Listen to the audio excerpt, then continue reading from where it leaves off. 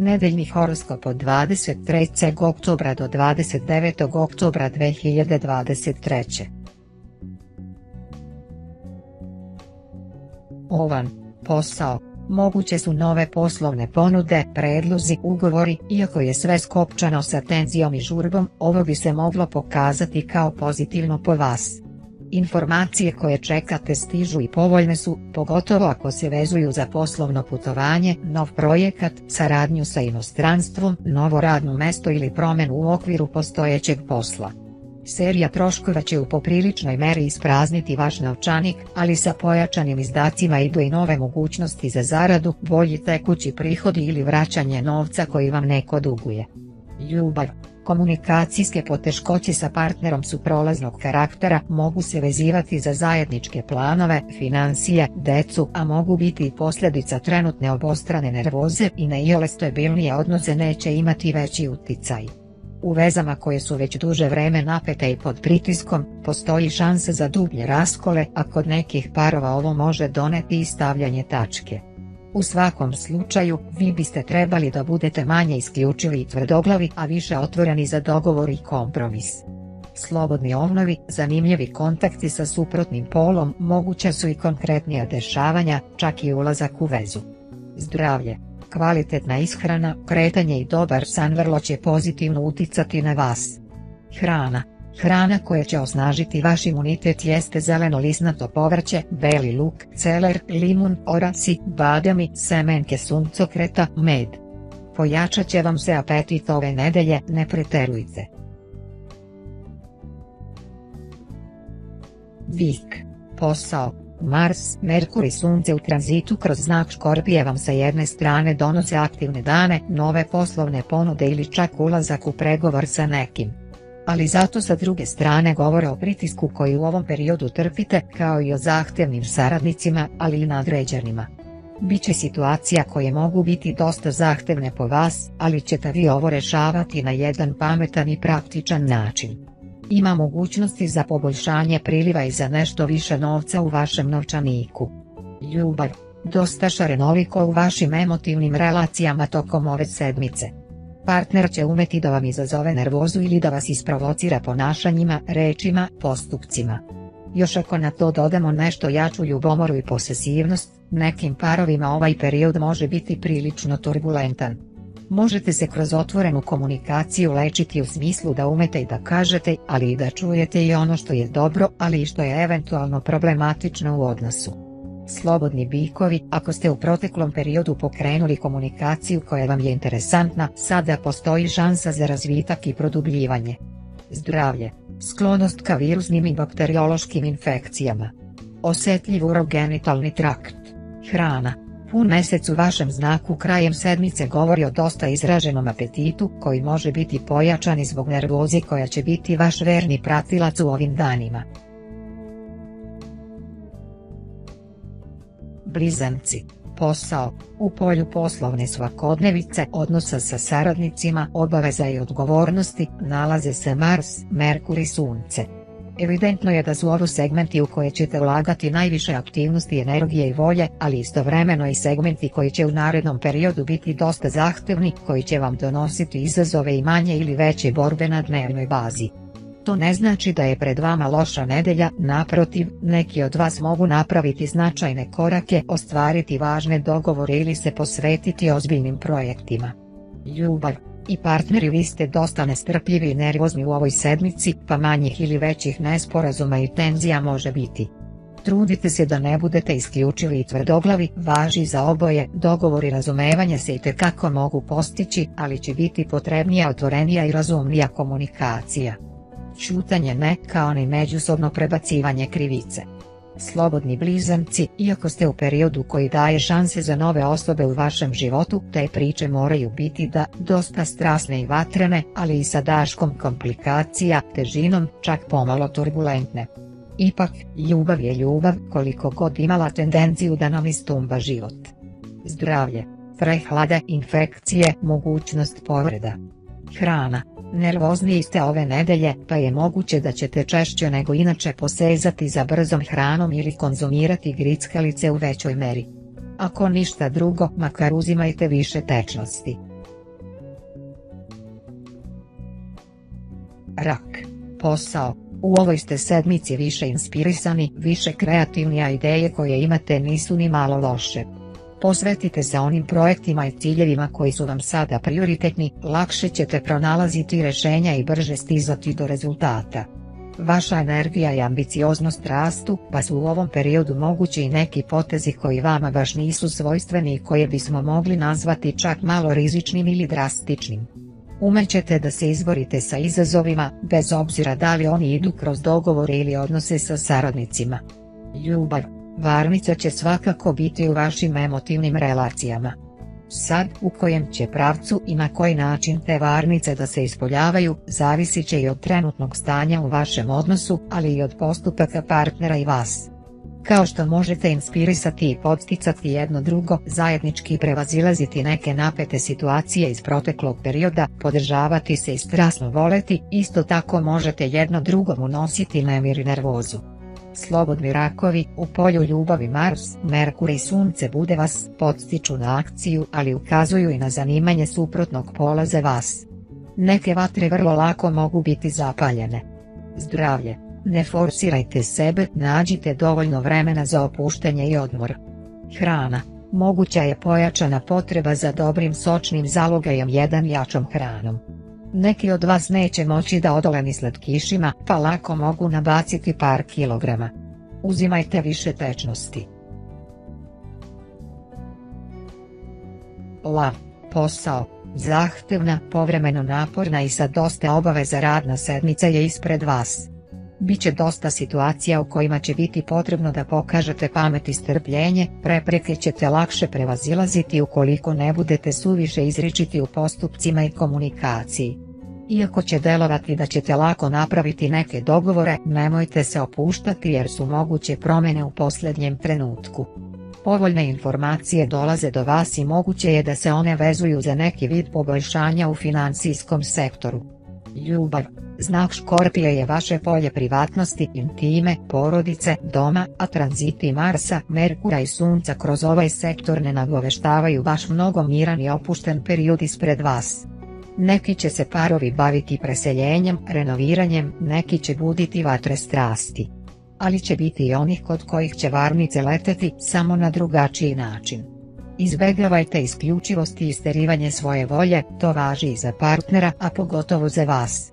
Slobodni lavovi, nije savršen period za nove emotivne početke jer bi oni bili dosta komplikovani i ispunjeni jakim strastima.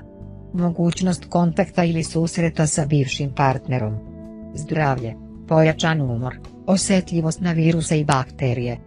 Hrana, lavovi bi mogli da se konačno pokrenu i shvate da je neophodno da uvedu neke promjene u način ishrane. Potrebna vam je hrana koja vam daje energiju a ne otežava i ne usporava varenje. Devica, posao, Sedmica pred vama je interesantna jer vam može doneti dobre poslovne ponude, predloge, projekte ili pak vrlo povoljne informacije, možda i nešto što duže vreme čekate i pokušavate da realizujete. Ne očekujte da će se sve razvijati i ići bez prepreka i nekog vida borbe, to vam je u ovom periodu zagarantovano, ali ćete rezultatima biti više nego zadovoljni. Izbegavajte samo da u komunikaciji sa saradnicima budete isključivi i drastični. Mogući su nesporazumi i sklonost ka raspravama. Ljubav, i opet u prvi plan za parove izlazi komunikacija, neke da spoji, neke da razdvoji. Jer nije isto kada svako vodi svoj monolog, vrti svoju priču i ne čuje drugu stranu ili još gore kada postoji isključivost, pritisak ili uslovljavanje ili kada obe osobe imaju svoje stavove i mišljenja, ali su spremne da čuju, razumeju i pronađu zajednički jezik. Ne znam u kojoj je kategoriji vaš odnos, ali je svakako savjet, razgovarajte, dogovarajte se, sarađujte, to su merne jedinice za zajedništvo i bliskost. Slobodne delice, interesantan period koji u vama budi nemire, želje koji vas jako pokreće na polju emocija. Zdravlje, više opreza u saobraćaju. Moguće su povrede, ali i infekcije. Hrana, vaša će ishrana dosta zavisiti od vašeg raspoloženja, a pošto će ono biti promenljivo, jasno vam je da ste u danima kada ćete ići iz krajnosti u krajnost. Neka vaši obroci budu lagani i više se baziraju na povrću. Vaga, posao, imate takta, povlačite pametne i promišljene poteze, možete da se dobro organizujete i postavite ciljeve. I pored rezultata kojih hoće biti, a oni mogu biti i u financijskom sektoru, vi ćete imati osjećaj da se u dovoljnoj meri ne ceni vaš trud i angažovanje. Možda vam se sada čini da previše malim koracima napredujete, ali ovo će se promijeniti u skorijem narednom periodu. Neke osobe oko vas mogu biti dosta kratkog fitilja pogotovo u drugom delu sedmice, ne dozvolite da vas uvlače u tu energiju. Ljubav, već neko vreme dubinski sagledavate situaciju u svojim emotivnim partnerstvima. Isključili ste srce, uključili mozak i pratite situaciju. Neko definiše šta osjeća i želi, neko razmišlja o ozbiljnim koracima, a neko preispituje da li mu je tu mesto i dalje. Ovaj proces sada daće svoje rezultate u narednom periodu, ali vagama svakako slede značajnija dešavanja u emotivnim odnosima, bit će i spajanja i razdvajanja. Uglavnom ćete sa partnerom sada funkcionisati redovno osim što u drugom delu sedmice može biti napete komunikacije. Slobodne vage, mogući je susret sa bivšim partnerom ili starom simpatijom. Zdravlje, zdravstvene smetnje su uglavnom prolaznog karaktera. Hrana, Nešto jači apetit ove sedmice, potreba za kaloričnijom masnijom hranom. Ako je moguće, pokušajte da ovo držite pod kontrolom. Također, teško ćete odolevati bilo kakvim slatkišima. Škorpija, posao, Mars, Merkur i Sunce u vašem znaku ukazuju na jačanje, snage, volje, energije i jako pokretanje ka onome što su vam ciljevi. Kakve god bile prepreke sa kojima se suočavate, malo je verovatno da ih nećete rešiti. Bićete dosta zahtevni, čak oštri u komunikaciji, pa vodite računa da neke saradničke i poslovne odnose ne pokvarite.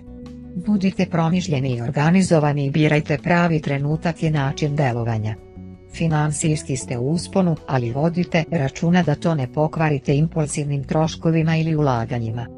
Ljubav Pun meseci pomračenja dešavaju se u vašem partnerskom sektoru, tokom ove nedelje mogu ukazati na varnice u komunikaciji koje izbijaju lako, na porast posesivnosti, isključivosti i ljubomore, ali su svakako pokazatelji većih promjena koje će nastupiti u narednim mesecima. Te promjene jesu dizanje odnosa na viši nivo, prinove, ali kod nekih parova i odvajanje. Slobodne škorpije, snažno ćete se usmeriti ka onim osobama koje želite da osvojite i malo je verovatno da nećete uspjeti u tome. Ovo je period početaka vrlo značajnih emotivnih veza koje će obeležiti vaš život. Zdravlje, pojačana nervoza, opuštajte se, bavite fizičkom aktivnošću. Hrana, kod mnogih od vas će, najprije na nervnoj bazi, biti pojačan apetit. Doduše i metabolizam vam je sada ubrzan, pa je malo verovatno da se ovo može odraziti na vašu liniju. Strelac. Posao. Potrebno je da budete više spremni na kompromis u poslovnim relacijama jer će povremeno biti teško napraviti pravi dogovor i razumeti se. Tempo dešavanja i obaveza se neće smanjiti i usporiti, naprotiv, očekujte da će biti potrebno više vašeg angažovanja, brzo razmišljanje i još brže delanje. Budite fokusirani na detalje, jer na njima će biti moguće napraviti grešku ili propustiti nešto moguće je dobijanje nekog vida priznanja za rad koje može ići i kroz financijski sektor. Ljubav, pojačane sumnje, nemiri, odnos sa partnerom je sa većim oscilacijama i to vam budi nesigurnost, a ona dovodi do vašeg lošeg osjećaja, nervoze.